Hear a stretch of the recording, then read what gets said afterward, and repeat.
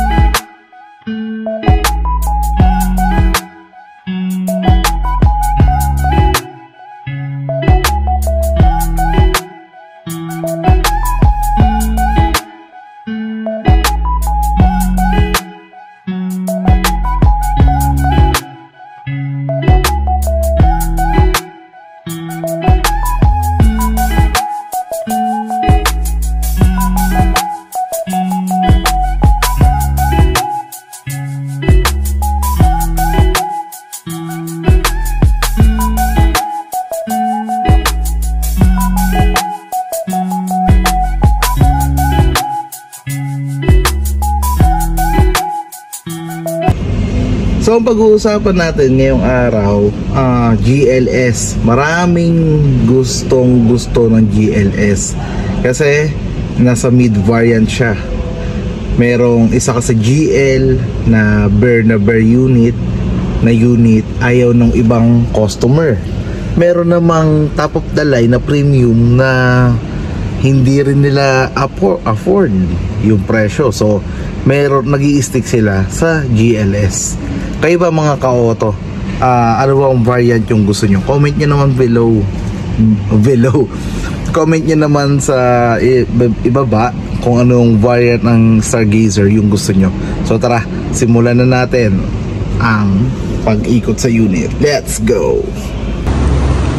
So, Stargazer GLS yung pag-uusapan natin ngayong araw. Uh, marami nagsasabi ano bang pinagkaiba ng GLS sa premium. Eto, tara, isa-isahin natin. Ulit, si Stargazer, ni-launch po siya nung 2022. So bago pa lang sa pandinig natin ang mga Stargazer, bago pa lang sa mata natin, kaya magugulat talaga kayo sa daan, anong unit ba yun? Ang ganda naman nun.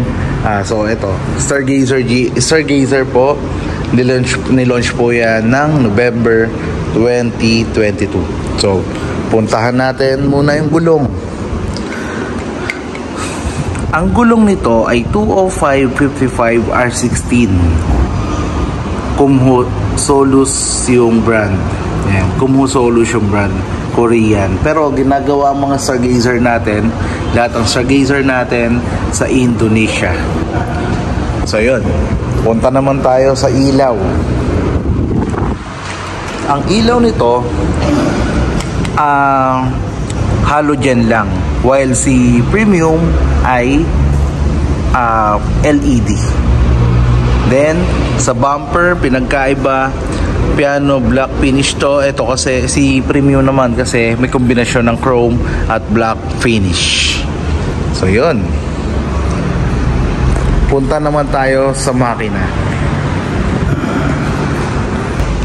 So dito naman tayo sa makina, parehas po silang 1.5 Smart Stream Gamma yung engine. Then yung exact displacement is 1,497cc. Meron na silang maximum maximum output na 115 PS at 6,300 RPM. Meron na rin maximum torque na 143 Newton meter at 4,500 RPM. So yun yung engine ng mga Stargazer natin. Pare-paras po yun. Euro 4 lahat yun. Then, then ang full tank capacity nito ay 40 liters. So yun. Puntahan naman natin yung side. Baba muna natin to. Para tuloy-tuloy tayo. So punta muna tayo sa suspension. Ang suspension ng Stargazer ay MacPherson sa harap. Then sa likod naman ay CTBA. Yan. CTBA ang CTBA ang rear suspension ng Stargazer natin. So tingnan naman natin sa loob. So tingnan naman natin sa loob. smart entry na si Stargazer then chrome yung handle niya dito same sila ng premium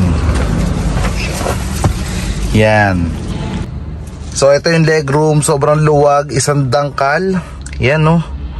Glow box. And maluwag yung glow box.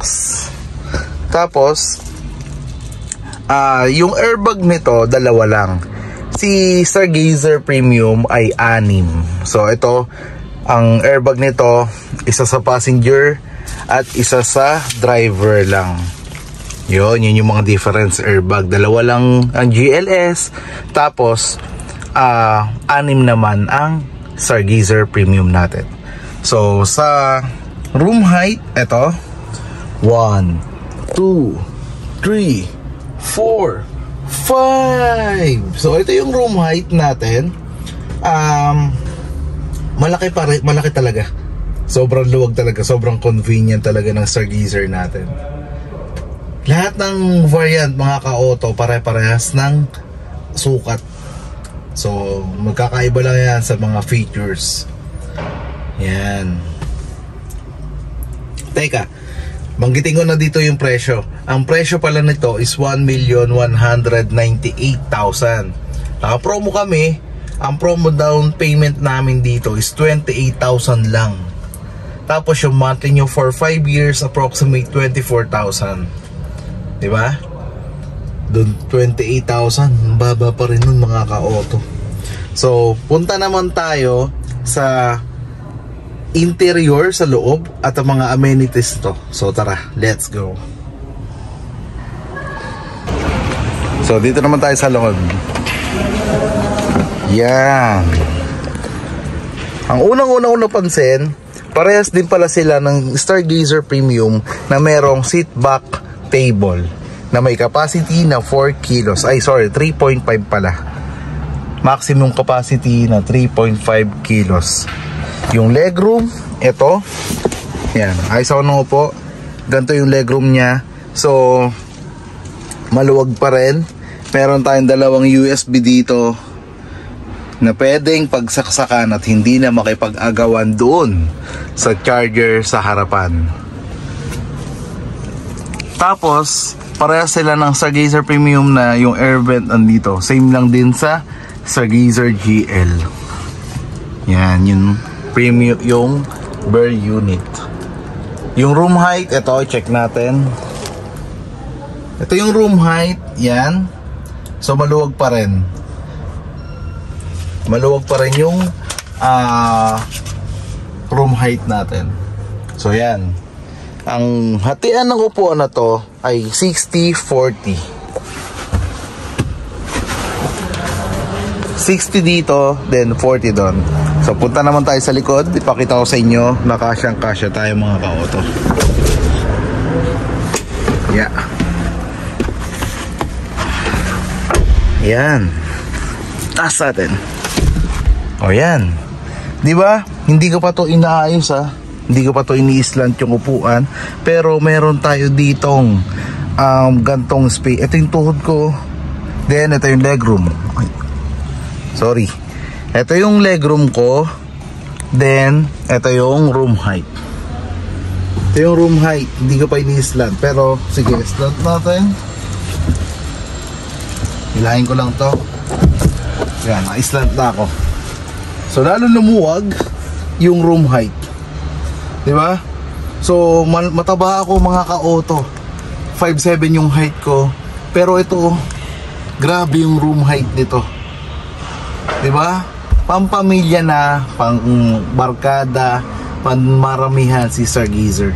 7-seater yung capacity ni Stargazer. Yan. Yun nga, uulit-ulitin ko si Stargazer may malaking wheelbase. So, ang ginagawa ng malaking wheelbase ay mas maluwag na space. Kung sa vari sa mga ka-level niya, sa mga Avanza, Veloz, Expander, ito yung pinakamalaking wheelbase. So ito yung pinakamaluwag na third row.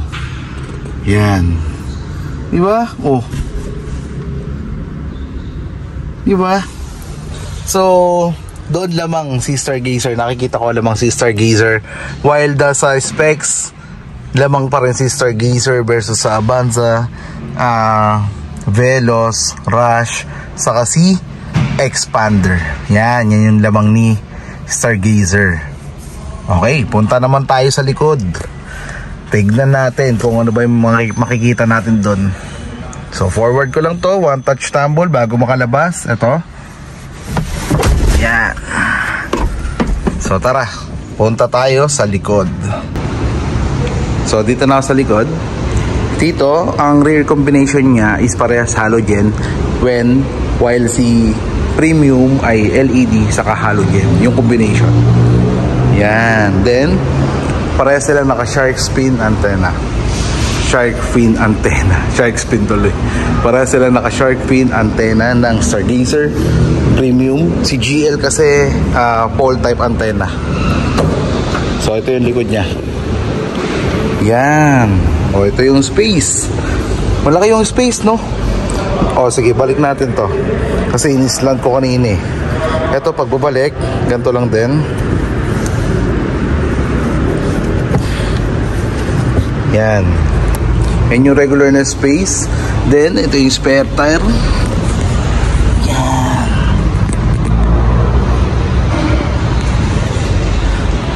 Alam niyo ba mga ka-auto, ang isa sa lamang ng Hyundai cars ay lima, limang taon ang warranty versus sa ibang brand na 3 years warranty lang. Di ba? Doon pa lang, sulit na. So, try kong, try natin na, yan na to, i-fold para mas malaking luggage. Yan, yung pwede nyo mailagay. Meron din tayong cup holder dito. Then, meron tayong charger dito na 12 volts. So yun. Ang ganda naman ng Stargazer. Ang luwag. So, balik natin mga ka-auto kasi may mga mag-review pa dito. Yan. Pay.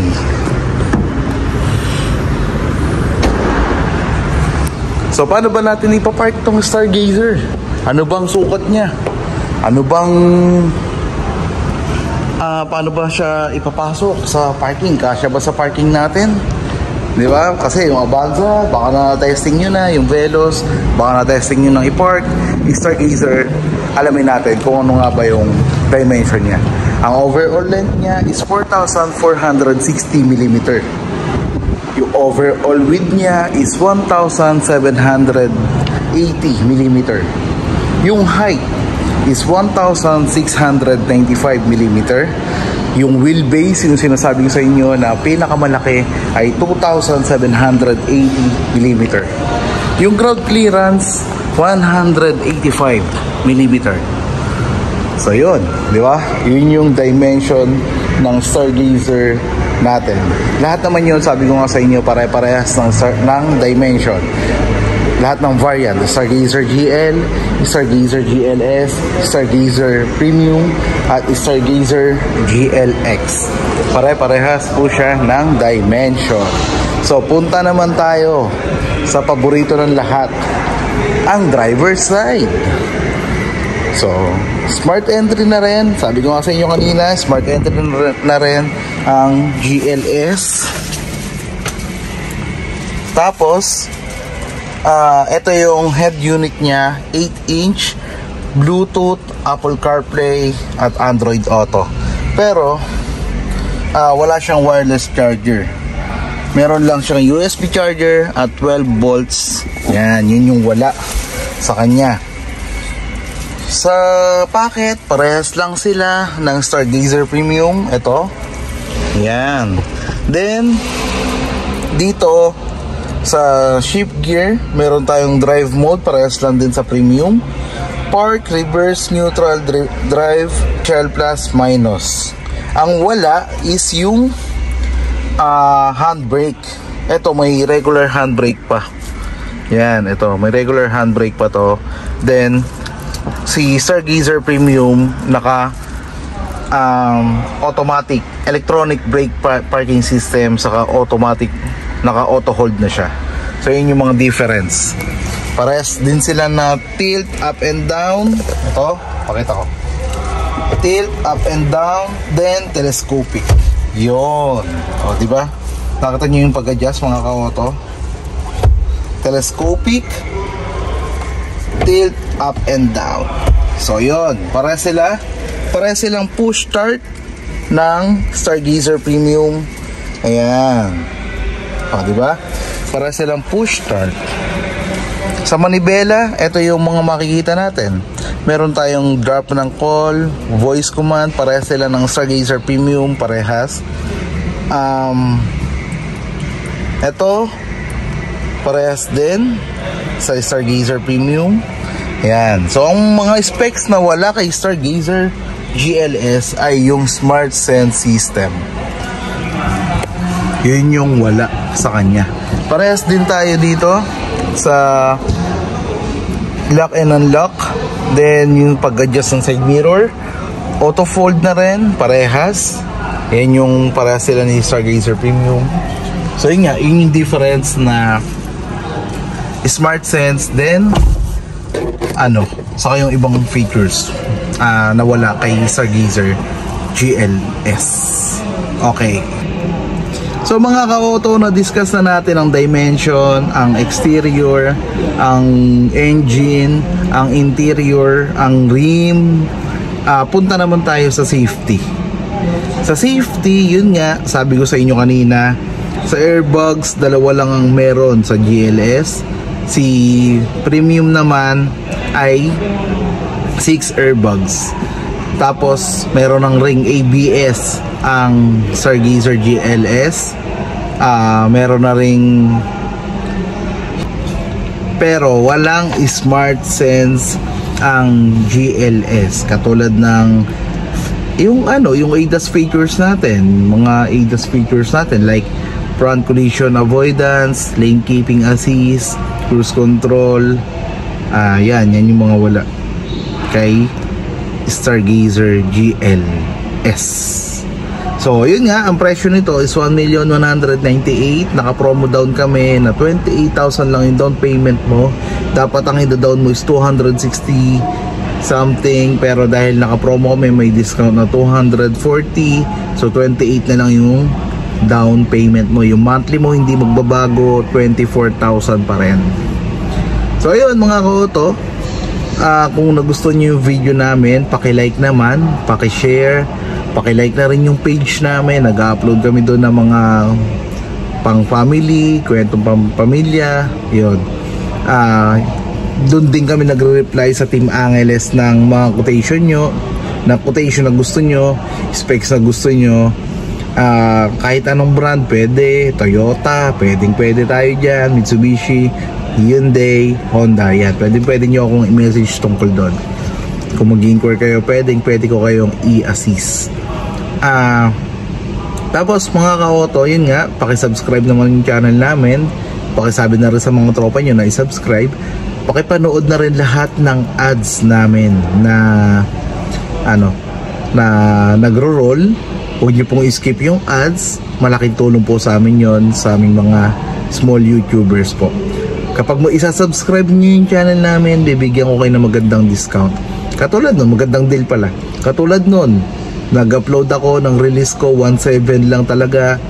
Narinig niyo naman po legit na legit yung down payment niya. Monthly is 20,000 21,700 ganon. So ayun. Um, maganda yung deal namin dito sa Hyundai Kainta hanapin nyo lang ako Raymond Angeles uh, bababa at bababa po ako from our sales office. So yun nga mga ka-auto uh, samahan nyo kami sa araw-araw sa vlog namin. Sana hindi kayo magsama manood ng vlog namin. Huwag nyo pong skip yung ads. Malaking tulong po sa amin yon so ang ine-next natin na i-vlog is yung Santa Fe. Abangan nyo yung Santa Fe i-vlog din natin yon iikutan natin yon sasabihin natin yung mga dapat dapat sabihin. Kung may makalimutan man ako pag-usapan natin.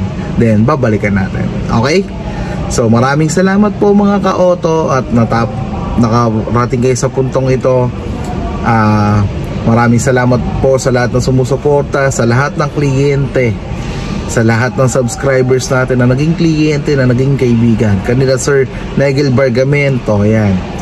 John Re Reyes, Cromwell Costosa, um, lahat, lahat ng mga nare-release ko so far galing YouTube yan. Kanila Sir Lucky Formaran, kay Sir, kay Sir Eliseo Uy, uh, Rain Angelica Kaliwag, um, meron din tayong na-release na ano, galing, hindi, halos lahat naman ay sa YouTube. So, maraming maraming salamat po. Sana, isa na kayo mga ka-auto sa marirelease natin sa YouTube. Sana hindi kayo magsawa sa panonood sa amin. Mag-iingat po tayong lahat. God bless po sa ating lahat. Bye!